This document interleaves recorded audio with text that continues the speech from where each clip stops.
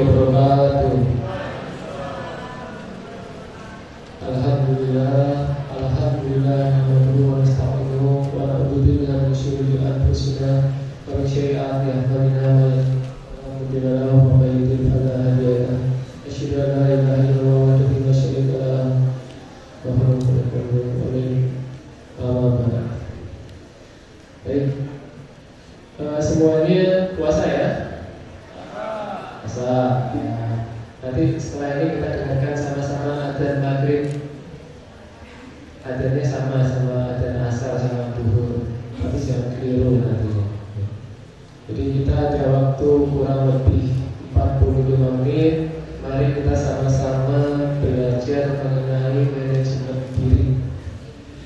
Jadi pada kesempatan ini saya mengambil tema mengenai manajemen diri. Kira-kira anda-anda di sini sudah merasa bisa manage dirinya masing-masing belum? Ya, kalau belum sama berarti. Yuk kita sama-sama. Karena susah sekali kalau saya lihat ya. Jadi manajemen ini, ya,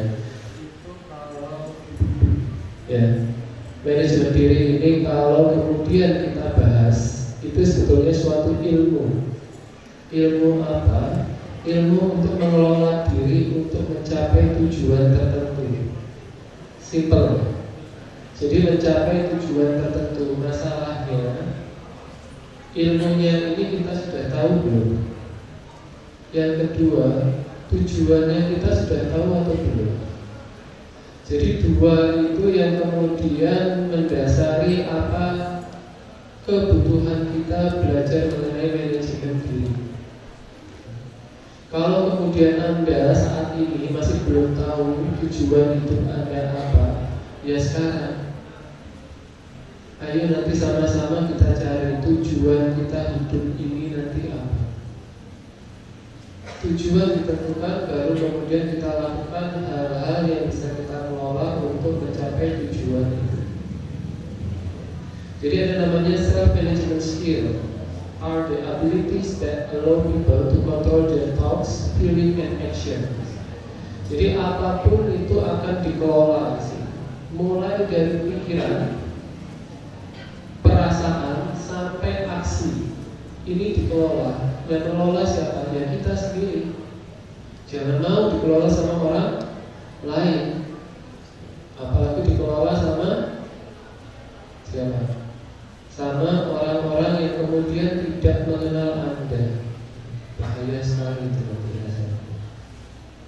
kemudian kalau kita punya kekuatan mengenai pengendalian kalau kita bicara pengendalian manajemen itu pengendalian bukan? Sama ya? Sama. Cuman kalau kita bicara pengendalian jangan kemudian mikir ini pengendalinya cuma satu mengendalikan diri. Ya. jadi kalau anda bisa mengendalikan diri anda untuk mencapai tujuan maka itu di mana anda akan memulai kesuksesan anda. Jadi kesuksesan itu tidak datang tiba-tiba. Nanti akan saya jelaskan juga. Itu semua harus dengan suatu pengendalian khusus. Di Al-Quran ini sudah disebutkan Al-Hasir ayat 18 A'udzubillahiminasyaitonirrajim. Bismillahirrahmanirrahim. Ya ayyuhalladzina amanu taqullah wal tanzur nafsun wa qadama fiqat Wa taqullah innallaha khabirun bima ta'malun. Artinya apa? Hai orang-orang yang beriman, bertakwalah kepada Allah dan hendaklah setiap diri itu memperhatikan apa yang telah diperbuat untuk hari esok. Ini kalau saya tanya kepada Anda, kira-kira sudah belum Anda melakukan hari ini untuk hari esok? Simpel saja. Paling kebanyakan belum saya nggak paham pak nanti esok saya ngapain itu saya belum tahu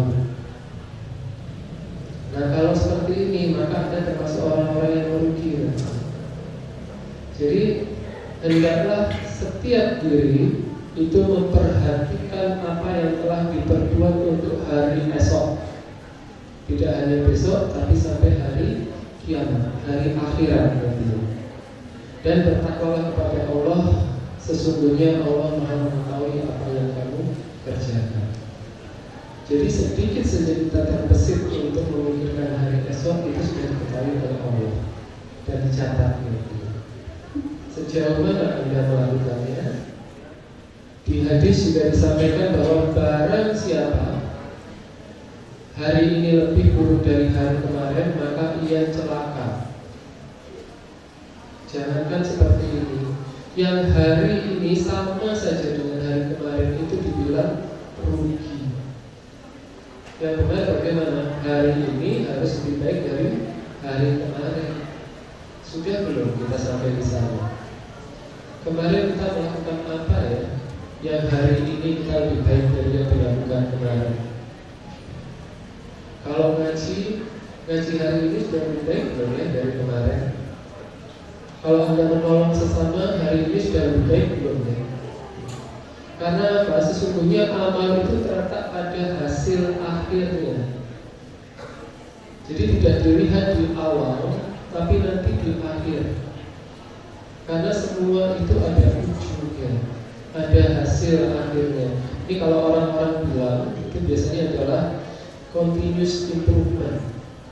Orang cepat bilang biasanya kaizen. Jadi bagaimana kemudian setiap langkah Anda Anda berupaya untuk berbuat lebih baik. Buatlah diri Anda menjadi versi terbaik dari Anda yang ada. Saya yakin bisa ya. Kalau kemudian Anda setiap hari masih banyak waktu untuk tidur, masih banyak waktu untuk main, masih banyak waktu untuk melamun, masih banyak waktu untuk melihat Instagram, TikTok, Anda bisa mulai mengurangi kecil demi kecil. Intinya hari ini harus lebih baik dari hari kemarin. Maka itu apa? Yang di sebelah kiri itu ada namanya plan do check action. Ini adalah suatu siklus di mana ada siklus untuk terus memperbaiki diri. Sudah tidak Anda lakukan ini? Belum Pak. Anda kira-kira mulai merefleksikan diri Anda setiap apa? Setiap minggu, setiap hari, setiap menit, atau tidak sama sekali. Karena apa? Sebaik-baiknya orang adalah ketika dia melakukan perencanaan. Nah, perencanaan itu sikap kita sikap itu banyak. Ada yang orang merencanakan, kemudian berhasil. Ini disebut sebagai orang yang sukses. Ada orang yang tidak merencanakan tapi berhasil. Yaitu disebut sebagai kebetulan ya pas berhasil. Anda tidak merencanakan belajar Anda tidak merencanakan misalnya ada kuis. Biasa kan kuis ya, ya. kuis Anda tidak merencanakan untuk belajar uh, metode X. Tiba-tiba metode X-nya tidak keluar Anda sukses, Anda berhasil itu adalah suatu kebetulan anda nggak tahu tiba-tiba kok baca bab X gitu ya. Dan bab X itu keluar di soal itu namanya kebetulan. Kalau kemudian Anda tidak merencanakan dan hasilnya tidak berhasil, ya sudah, itu artinya Anda gagal. Simpel. Yang menarik apa? Anda merencanakan tapi tidak berhasil, itu tetap dihargai sebagai suatu kesuksesan. Jadi intinya adalah tolong direncanakan. Jangan kemudian ada orang kemudian sukanya ya sudah apa yang ada ya itu yang jalan. Anda rencanakan dahulu. Anda diberi nikmat akal, Anda gunakan akal Anda untuk berencana. Kemudian ketika kita memanage diri kita, itu sebetulnya banyak sekali metode silakan ada googling, ada buka, itu berubah. Mulai dari 1976 itu ada itu macam-macam Kebanyakan itu sumbernya dari barat dan sifatnya duniawi. Kenapa? kita yang Islam tidak melihat kepada Nabi kita Nabi Muhammad SAW beliau itu super hebat beliau itu sangat hebat beliau itu tidak hanya teladan dari perbuatan tapi juga teladan dalam manajemen diri holistik jadi ini coba saya kita sama-sama lihat bagaimana beliau memanage dirinya pada waktu itu. Jadi kalau kemudian kita lihat manajemen diri Nabi pada waktu itu itu dari bawah. Kalau anda lihat di sini mulai dari pertumbuhan sampai nanti ke fase pewarisan jadi. Ya. Jadi mulai dari fase pertumbuhan dan ini itu nantinya juga ada alami. Kalau saya tanya sekarang, Anda sampai di fase mana kira-kira? Fase pertumbuhan, fase pencarian jati diri, fase pembentukan jati diri, fase pengembangan jati diri, atau fase pewarisan jati diri. Sampai mana? Atau tidak di fase ini sama sekali? Wah, itu repot. Di fase mana? Fase Kalau Anda menjawab fase pertumbuhan Maka iya Ini adalah fasenya Anda Kecuali kalau usianya sudah di atas 25 tahun Ada ya? Ya, ada yang mungkin kelihatan muda sekali Padahal usianya 30 tahun Tidak Kecuali Pak Endra itu Jadi pada fase ini Ini adalah fase pertumbuhan fase yang sedang Anda jalani saat ini. Di mana kemudian aktivitasnya ini pertumbuhan fisik. Kalau yang sudah seusia saya ini pertumbuhan fisik ya, tapi kami cenderung untuk melebar daripada tinggi. Tapi kalau Anda itu tinggi masih memungkinkan. Dan fase terjadinya pertumbuhan terhadap kepercayaan diri di mana kemudian kecerdasan yang digunakan itu adalah adversity question ada yang tahu apa itu adversity questions adversity questions itu adalah kecerdasan yang terbentuk dari kesulitan jadi Anda mulai untuk cerdas didasarkan atas kesulitan Kesulitan apa? Coba kalau Anda masih kecil Anda masih kecil mau menggapai makanan-makanan yang tinggi-tinggi seperti itu kan susah Kemudian apa yang Anda lakukan? Anda mulai cari Entah itu cari sapu, entah itu cari uh, kursi untuk kemudian naik Itu Anda lakukan Sampai di mana? Sampai di fase saat ini anda suka menemui masalah? Anda suka menemui hambatan? Ini adalah fase Anda untuk meningkatkan diri didasari atas hambatan yang ada. Jadi kalau semakin banyak hambatan, jangan mengeluh. Ya, kalau generasi sekarang kalau ketemu itu sukanya mengeluh. Sedikit-sedikit mengeluh. Kalau Anda lihat orang-orang main Mobile Legends itu baru menit pertama, kedua, ketiga sudah mau resign, sudah mau keluar. Bu, kok cepat banget?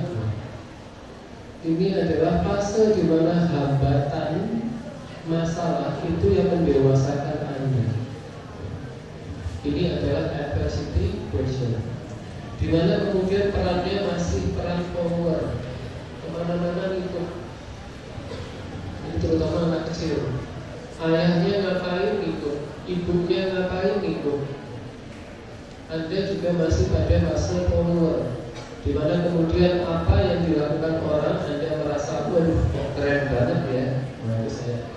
Ini adalah fase Dengan kebiasaan yang masih dependence Nah kepercayaan diri Itu sebetulnya bisa Anda pupuk Anda sekarang sudah percaya diri belum? Belum. Kalau anda disuruh ngomong di depan, berani? Berani pak, saya anak teknik, makanya nggak berani sih. Bapak jual, saya beli. Nah di sini adalah fase untuk memupuk kepercayaan Dasarnya apa? Kalau orang merumuskan, ini saya ambil dari Daniel tahun 86. Jadi dia bilang, kepercayaan diri itu adalah buah dari positive thinking ditambah potential power dikali dengan action. Jadi ada tiga. Anda harus memulai dengan positive thinking dahulu. Baru kemudian Anda lanjutkan dengan potential power. Potential power dapatnya dari mana? Dari adversity equation. Ketika Anda menemui masalah, Anda berupaya anda mulai punya namanya potensial. Nah, orang yang percaya diri biasanya orang yang positif thinkingnya besar, dia merasa punya potensi, diwujudkanlah dalam bentuk action. Ini adalah percaya diri. Kalau Anda mau meningkatkan percaya diri, silahkan semakin Anda positif thinking, semakin Anda merasa punya potensi, segera lakukan sesuatu ini akan muncul nanti potensi atau kepercayaan diri. Oke. Fase yang kedua itu adalah pencarian jati diri. Ini nanti kalau anda sudah lulus biasanya muncul fase ini. Anda mulai mencari jati diri saya apa? Saya lulus ini buat apa? Saya mau ngapain sekarang? Karena ketika Anda mengikuti fase ini, ini adalah fase umumnya orang. Orang sekarang umum sekali kalau dia belajar sampai di fase kuliah.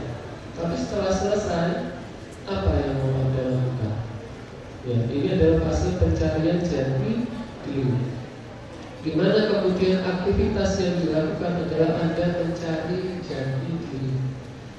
Anda ke sini, Anda ikut kajian ini, Anda ikut perkumpulan ini, Anda ikut game sana, itu adalah salah satu bentuk pencarian jati diri. Ini adalah fase yang Anda harus waspada. Karena kalau Anda salah dalam mencari jati diri, Anda nanti terperosok jauh. Di saat ini fase yang paling baik itu adalah kecerdasan apa? Kecerdasan creativity questions. Kreativitas Anda main. Makanya itu kalau kemudian orang-orang cari ide, itu pasti nyarinya ke anak muda. Pernah nggak orang cari ide nyarinya ke anak tua-tua? Tidak. Anda adalah sumber ide sumber kreativitas. Pak? Karena ini loh, kreativitas itu adalah gabungan dari imagination, imaginations, try and error, breaking rules itu akan keluar kreativitas. Jadi kreativiti itu adalah ketika Anda saat ini punya daya imajinasi itu tinggi sekali. Pokoknya yang kaya-kaya itu Anda bisa Sudah mikirnya macam-macam. Anda sudah mulai mikir bagaimana bernafas di dalam air. Bagaimana bernafas di dalam tanah. Pokoknya macam-macam. Sebisa semungkin macam-macam. Kemudian yang Anda suka lakukan apa? Trial and error. Coba, gak bisa. Coba lagi, gak bisa dan kadang-kadang kalau jiwa masih muda itu masih suka untuk melanggar aturan. Karena jiwanya masih muda. Ini muncul. Makanya kreativitas itu jangan kemudian tekan orang-orang yang kreatif itu biasanya orang-orang yang berhasil. Orang-orang yang dikatakan inovasi. Kadang mereka tidak harus ikut kepada suatu. Ya, ketika dibilang aturan itu segitiga itu sisinya ada tiga, dia tidak mau terima sama itu. Dia mencoba apa yang membuat segitiga itu sisinya ada tiga. Ini yang kemudian timbul namanya kreatif itu.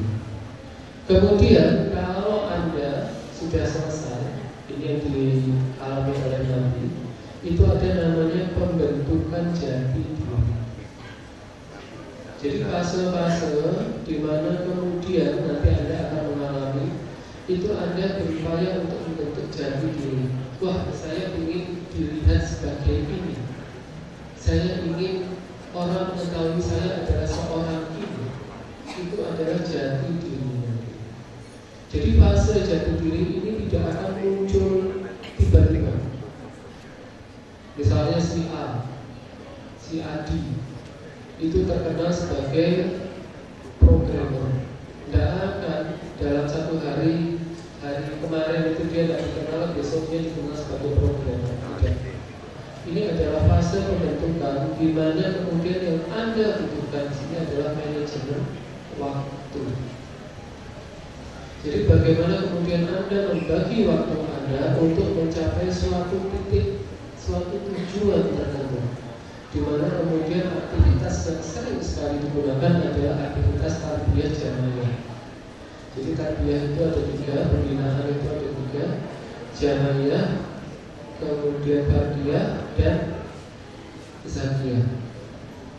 Di mana kemudian kalau tarbiyah jamaah itu adalah pembinaan secara berjamaah di mana satu dengan yang lainnya itu saling melakukan pembinaan. Jadi pembinaan itu kemudian di sini kalau jangan dulu itu adalah fase-fase di mana beliau mengalami yang namanya kecerdasan spiritual questions. Jadi kecerdasan yang dialami karena adanya rohani-rohani dulu. Peran di situ adalah ketika kita mulai dengan peran manajer dengan kebiasaan yang ada kita mulai saling bebas.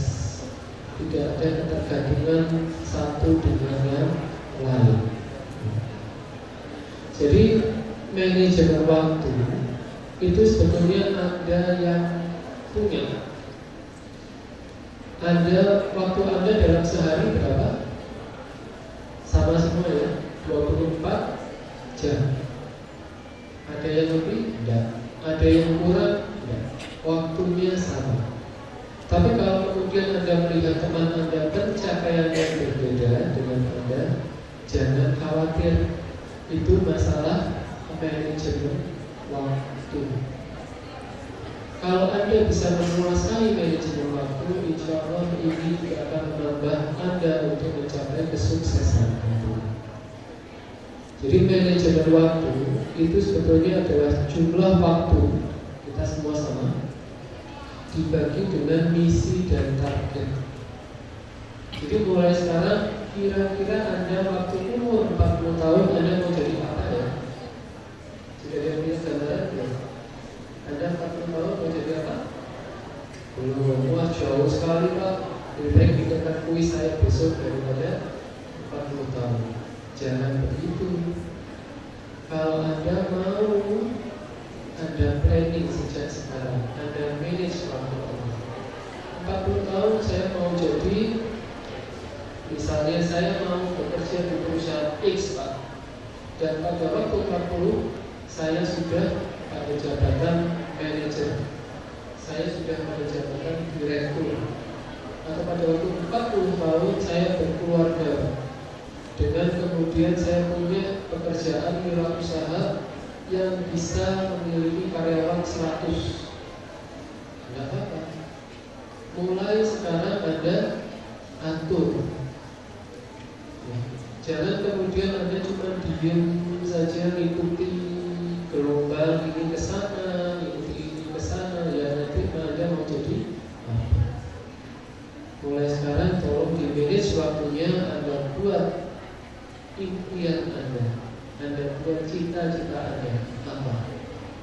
Itu Anda buat dengan sekarang Caranya apa? Caranya nanti menggunakan time management Jadi time management ini mulai sekarang ada pelajari Banyak banget time management Karena dengan time management Anda akan lebih berhasil daripada Anda saat ini Contohnya apa? Contoh time management di saat Anda paling gampang sekarang Kalau saya tanya Anda dikasih tugas sama dosen Tugasnya dikumpulkan dua minggu lagi Kira-kira Anda kerjakannya kapan? Anda kerjakannya satu hari sebelum dikumpulkan. Jadi dosen mau ngasih tugas mau dua minggu lagi, mau sebulan lagi, biasanya Anda mengerjakan adalah satu hari sebelum hari. Itu juga alhamdulillah Pak. Kadang mengerjakan di hari H. Pokoknya datang lebih pagi, ada teman datang sudah selesai, saya kerjakan. Tidak seperti itu. Time management adalah bagaimana Anda merubah diri Anda berdasarkan waktu yang ada. Karena waktu itu adalah harta yang paling berharga yang bisa Anda miliki saat ini. Jadi semiskin-miskinnya Anda, ya, waktu itu masih ada di pihak Anda. Waktu itu adalah menjadi privilege setiap orang. Semua orang, apa pun kondisinya, pasti punya waktu. Baik, saya lanjutkan.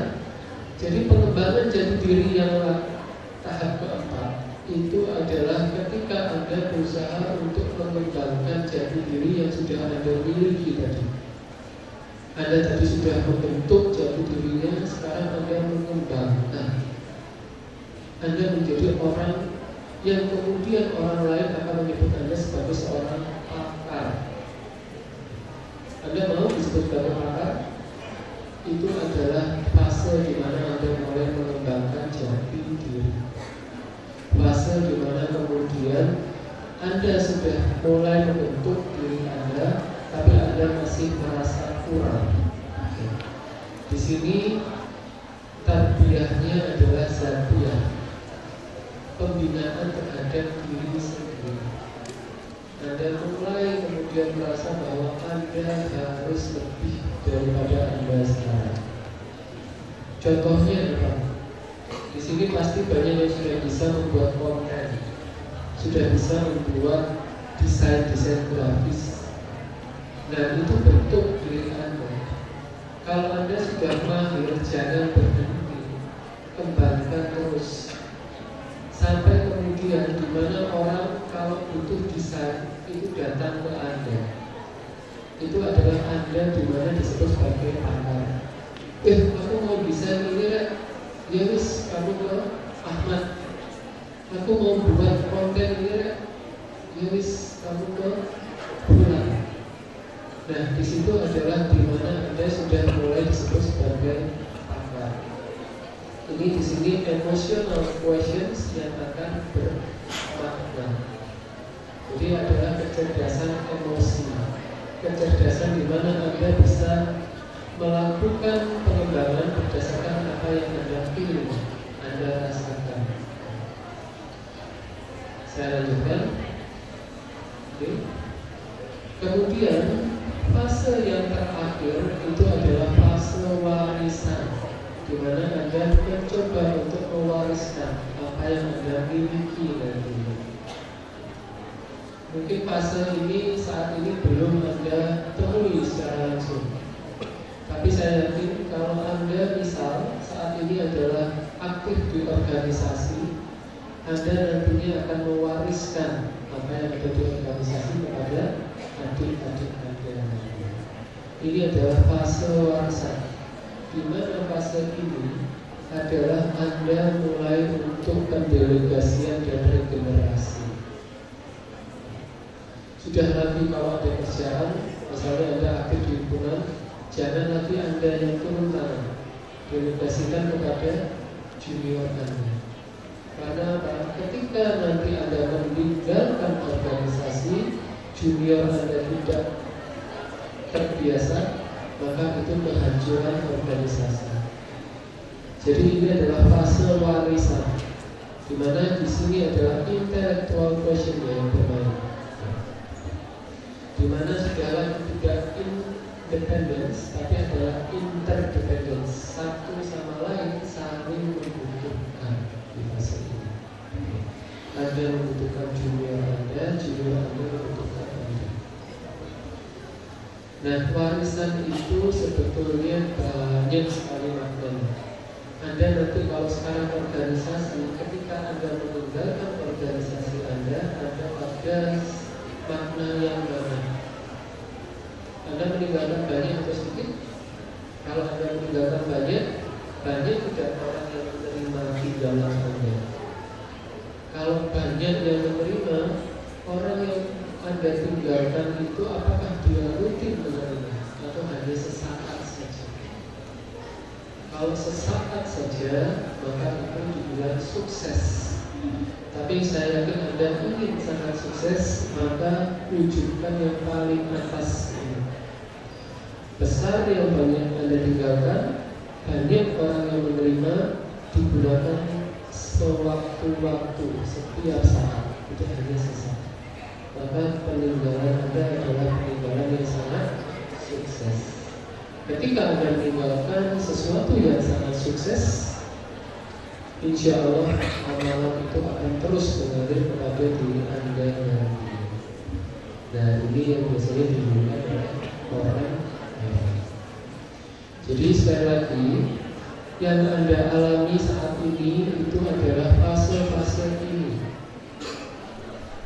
Merasa, oh dapat saya dari fase pertumbuhan, dapat anda berarti sudah masuk ke fase yang selanjutnya. Anda dewasa lebih cepat daripada nanti. Ya. Jadi fase-fase ini itu yang nanti Anda alami. Tolong diingat. Kalau Anda ingin sukses, fase ini direncanakan mulai sekarang. Jadi sekarang ini waktunya Anda untuk mulai berpikir saya mau jadi apa. Kemudian ketika kita melakukan implementasinya, ya, implementasinya itu ada empat. Yang pertama, Anda berupaya untuk selalu berubah, berubah menuju yang lebih baik. Karena apa? Karena Anda ingin meninggalkan sesuatu yang bermakna. Ini sudah ada yang pemikiran seperti ini kan? Saya ingin baik, saya ingin menjadi saya terbaik Tapi bukan buat saya Buat orang-orang di sekitar saya yang saya tinggalkan nanti wow. Ada sudah sampai di versi ini? Belum Kalau Anda belum sampai di versi ini, segera Buat mindset Anda, Anda ingin menjadi lebih baik Bukan untuk Anda, tapi untuk orang-orang di sekeliling Anda Karena sebaik-baiknya umat adalah yang memberi manfaat untuk sekitarnya. Oke. Kemudian yang kedua, buat rencana secara periodik. Kalau Anda belajar masalah rencana, masalah time management, itu sebenarnya ada banyak. Anda termasuk tipe-tipe yang mana banyak. Saya dulu waktu zaman-zaman Anda, saya termasuk orang yang perfeksionis mau tahu perfeksionis itu seperti apa? Perfeksionis itu dikala Anda punya rencana, rencana itu meleset sedikit Anda jaga. Ada yang seperti itu kan? Anda punya rencana, rencana itu meleset sedikit Anda jaga. Contoh, Anda rencana berangkat jam 7.30 Tiba-tiba ada teman Anda telepon. Temponya tidak sebentar. Temponya 15 menit. Jadi Anda terlambat baru berangkat jam 7.45 Orang yang perfeksionis jangankan 15 menit. 5 menit saja terlambat dia jengkel. Waduh ngapain sih temanku tadi telepon Ngomong apa mau cuma ngomongin masalah utang Mau cuma ngomongin masalah video Nah ini Anda termasuk yang apa? Kalau Anda punya rencana, sebisa mungkin sifatnya fleksibel. Percaya sama saya. Kalau Anda punya rencana, jangan terlalu paham dengan rencana Anda. Karena rencana itu sekali lagi adalah buatan dari kita. Anda merencanakan. Okay.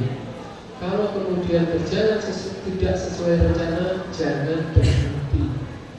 Jangan jengkel jangan diam lakukan perubahan ini namanya agile education anda berubah begitu rencana kenyataan sudah sesuai rencana berubah jangan diam Anda harus bisa adaptasi. Inilah kenapa Anda harus membuat rencana itu secara periodik, bukan satu untuk selamanya. Kemudian Anda lakukan pembinaan diri sendiri, tidak hanya pembinaan bersama-sama. Jadi lakukan terhadap diri Anda. Ubahlah diri Anda sebelum Anda berusaha untuk merubah orang lain. Karena apa? Orang lain akan melihat pembinaan terbaik itu adalah ketika Anda sudah melakukan dan itu berhasil. Anda akan menjadi teladan. Jadi lakukan sampai fase di mana kemudian Anda sendiri sudah merasakan baru kemudian Anda ajak orang lain. Yang terakhir, kunci manajemen diri itu adalah ketekunan. Ketekunan ini adalah kunci dari manajemen diri. Nah, ketekunan sendiri itu dipercaya 90% dari kesuksesan. Di mana ketekunan itu adalah buah dari keyakinan dan harapan. Sekarang saya tanya, Anda termasuk orang yang tekun atau enggak? Tekun ya? Nah, saya bilang tekun itu masih jalan-jalan gini. Anda harus menjadi orang yang tekun. Ketekunan itu susah, serius susah. Sebagai contoh, misalnya ya, Anda tekun apa ya? E, anda tekun dalam bangun pagi. Anda berjanji pada diri Anda setiap jam 3 saya bangun. Sebetulnya simpel ya, Anda tinggal membuat alarm. Zaman sekarang itu alarm itu kan macam-macam ya. Kadang ada mahasiswa itu alarmnya ada 10 Jam 3, jam 3 lewat 1, jam 3 lewat 2, sampai jam 3 lewat 10 Setiap bunyi matikan, setiap bunyi matikan Tapi tidak bangun Ketekunan adalah di mana kemudian tidak ada tekanan terhadap Anda untuk melakukan kegiatan itu. Itu berarti Anda tekun. Di saat kemudian Anda sudah merasa itu adalah bagian dari diri Anda. Kalau terlewati, aneh rasanya. Ada yang sudah pernah seperti itu? Saya dulu S3 di Jepang. Waktu itu anda tahu ya, etos kerja orang Jepang ya, seperti itu. Saya iseng. Saya ambil arubanito. Tahu arubanito? Part-time job. Part-time job apa? Saya part-time jobnya adalah menjadi HD. Tahu PhD? Bukan Hut delivery, tapi paper food delivery atau ngeloper. Tahu ngeloper ya? Orang yang ngantar koran setiap hari. Di sana saya harus bangun setiap hari jam setengah tiga. Kalau saya lebih, dipastikan saya terlambat. Jadi saya harus bangun setengah tiga pagi. Pagi-pagi saya ambil sepeda pancal saya. Saya semua masih gelap, saya sudah beredar. Waktu itu satu blok itu saya selesaikan dalam setengah jam. Saya waktu itu ngambil tiga blok. Tiga blok itu satu blok itu mungkin sekitar 40 rumah. Jadi saya selesaikan 120 rumah. Saya kasih orang. Setengah tiga pagi saya bangun. Jadi cuaca apa pun di Jepang itu koran itu liburnya, Anda tahu berapa kali dalam sebulan? Dia liburnya adalah satu kali dalam 12 bulan. Artinya apa? Setiap hari saya harus bangun jam setengah tiga. Tenju saya, bos, itu kalau kita ngomongin Tenju, itu orangnya orang Jepang asli. Sukanya apa? Sukanya marah-marah. Semua dimarahin. Wah kamu nggak bisa ini. Apalagi dimarahin biasanya saya Meskipun teman saya salah, yang dimarahi saya. Soalnya dia ngiranya yang bisa bahasa Jepang saya, padahal saya tidak bisa. Saya cuma bilang hai hai kalau mas tak sampai senyum senyum. Dimarahin apa hai hai sampai dia jaga Tapi setengah tiga saya harus bangun. Meskipun pada waktu itu suhunya mencapai 0 derajat Celcius musim dingin. Meskipun pada waktu itu hujan. Meskipun kalau hari tahun baru, Anda tahu di Jepang, korannya itu enggak tipis gini. Satu koran itu sejengkal. Satu koran. Isinya apa? Isinya iklan semua. Korannya tipis, iklannya tebal. Itu khusus tahun baru. Tahun baru saya nggak bisa pakai sepeda pancal, saya harus pakai kuda. Jadi saya riwa, riwi segala macam itu. Setiap hari jam setengah tiga. Akhirnya apa? Begitu saya pulang ke Indonesia, apa yang terjadi? Setengah tiga saya bangun, bingung saya. Apa yang mau saya lakukan? Gak mungkin kan saya ke tempat oper mas mas saya bantu oper. Tapi karena itu adalah buah dari ketekunan, maka ketika anda tidak melakukan ada yang hilang. Nah, ini tolong anda bisa tekun. Bagaimana biar tekun? Ini caranya. Jadi yang pertama adalah jaga keikhlasan. Ikhlaskan diri anda bahwa memang ada niat untuk melakukan itu. Tidak ada paksaan Kemudian bakar perahu anda, semangat anda, kenyamanan anda, tinggalkan semua. Biasanya kenyamanan itu yang menghambat anda untuk menjadi tekun. Percaya enggak? Ya kan? Anda mengalami di saat Anda mau tekun, itu pasti akan bertabrakan dengan kenyamanan. Ya. Kemudian yakinkan bahwa Anda itu sudah tertinggal meskipun Anda belum. Ini akan memotivasi Anda nanti. Visualisasikan tujuan Anda dan hidupkan alarm pikiran Anda. Jadi buat awareness kepada Anda bahwa ini memang harus saya lakukan. Kalau tidak saya lakukan, wah gawatnya. Meskipun Anda belum tahu gawatnya itu apa, lakukan di sini. Jadi buat Anda berpikir bahwa Anda harus melakukan. Sama ketika saya ngoper saya nggak ngoper ada masalah. Beasiswa saya itu 160 ribu ya, setara dengan 16 juta per bulan. Cukup ya. Tapi saya tetap ngeloper. Saya juga bingung waktu itu, kenapa ya saya ngoper itu. Saya waktu itu awalnya itu karena teman saya itu habis kecelakaan. Saya gantikan ngoper. Kemudian teman saya bilang, sudah saya tidak bisa saya waktu itu sudah mau berhenti ngoper. Yang terpikir di saya apa? Orang Indonesia kalau datang ke kota saya itu kadang-kadang ada yang butuh mata pencaharian seperti ini. Kalau saya stop di sini diisi oleh orang Jepang, kasihan.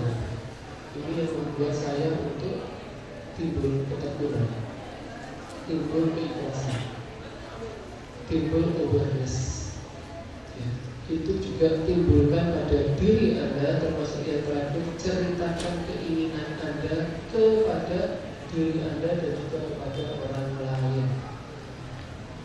Jangan dipendam. Mas, Mbak, eh, aku nanti kalau usia 40 aku mau jadi ini. Dan apa? Sampaikan ke teman Anda. Ketika Anda mau tidak tekun, ketika Anda mau males, Anda ingat masa-masa itu. Anda mungkin waktu SMA sudah pernah ngobrol sama temannya, eh aku nanti mau kuliah di sini, aku nanti mau jadi ini. Ingat kembali masa itu. Itu akan membuat Anda takut, membuat Anda ingat kembali apa yang sedang Anda ucapkan. Karena sesungguhnya ucapan itu adalah suatu janji. Ingat itu. Sehingga insya Allah nanti ketekunan itu akan ada pada diri kalau ketekunan itu ada, semua yang anda jalankan, semua ada yang merencanakan, insya Allah akan diridhoi oleh Allah Subhanahu Wa Taala, sehingga insya Allah kesuksesan pun akan ada raih nanti. Ya. Mungkin itu yang bisa saya sampaikan untuk sharing kita pada hari ini. Insya Allah sekali lagi tolong Anda bisa memanage diri Anda. Jalannya apa, tahapannya apa, Anda sudah tahu dan inti dari semua itu satu ketekunan. Mulai dari sekarang, tekun untuk sesuatu yang kecil saja, di mana kemudian ketika Anda tidak melakukannya, Anda akan merasa kehilangan. Kalau sudah seperti itu, berarti Anda termasuk orang-orang yang Ya. Baik, mungkin itu yang bisa saya sampaikan pada kesempatan hari ini. Terima kasih. Saya akhiri. Assalamualaikum warahmatullahi wabarakatuh. Bapak Indradi atas sharing ilmunya. Insya Allah materi tadi akan sangat bermanfaat bagi kita semua, yaitu tentang manajemen diri dan bagaimana cara kita memanajemen waktu dengan baik Semoga teman-teman yang hadir di sini tidak hanya cuma mendengarkan, tapi juga akan mengamalkannya di kehidupan sehari-hari ya. Amin. Selanjutnya adalah pembacaan doa oleh Bapak Indradi Jatmiko. Menunjukkan hati dan pikiran untuk bermunajat kepada Allah Subhanahu Wa Taala. Semoga apa yang kita mohonkan pada kesempatan hari ini dikabulkan Allah Subhanahu Wa Taala. Bismillahirrahmanirrahim Alhamdulillahirrahmanirrahim Wassalatu wassalamu ala asyrafil anbiya'i wal mursalin Wa ahlihi ajma'in Ya Allah Maha pengampun Ampunilah dosa-dosa kami Dosa kedua orang tua kami Dosa saudara kami Serta dosa-dosa para pemimpin kami Ya Allah, berikanlah kami kekuatan dan kebijakan untuk selalu belajar dan belajar dari setiap kesalahan yang kami perbuat. Ya Allah, yang Maha Pemberi petunjuk, berikanlah kami petunjuk agar kami bisa mendapatkan setiap peluang dan kesempatan yang Kau berikan kepada kami, agar membawa kami nantinya ke pintu kesuksesan. Dan berikanlah kami petunjuk agar bisa membuat keputusan yang lebih baik dari yang saat ini. Ya Allah yang Maha Agung, kuatkanlah jiwa dan raga kami agar kami terus dapat berupaya dengan maksimal ya Allah. Sehingga kami dapat memberikan hasil yang terbaik untuk setiap upaya kami lakukan agar kami dapat menjadi versi terbaik dari diri kami. Ya Allah, lapangkanlah hati kami untuk menerima hal-hal yang ada di luar kendali maupun hal-hal yang tidak dapat kami ubah. Jadikanlah kami manusia-manusia yang kuat, manusia-manusia yang optimis, yang menjalani kehidupan ini dan dapat menerima semua upaya kami ini ya Allah terimalah sebagai ibadah kepadamu ya Rabb hanya kepadamu kami berdoa hanya kepadamu kami meminta dan memohon maka kabulkanlah doa kami semua pada sore hari ini. Rabbi firli wa liwalidayya warhamhuma kama rabbayani shaghira Tuzigh qulubana ba'da idh hadaytana wa hab lana min ladunka rahmah innaka antal wahhab. Rabbana dhalamna anfusana wa illam taghfir lana wa tarhamna lanakunanna minal khasirin. Subhana wa bihamdika asyhadu an la ilaha anta astaghfiruka wa atubu ilaik. Rabbana atina fid dunya hasanah wa fil akhirati hasanah. Wa billahi taufiq wal hidayah. Wassalamualaikum warahmatullahi wabarakatuh.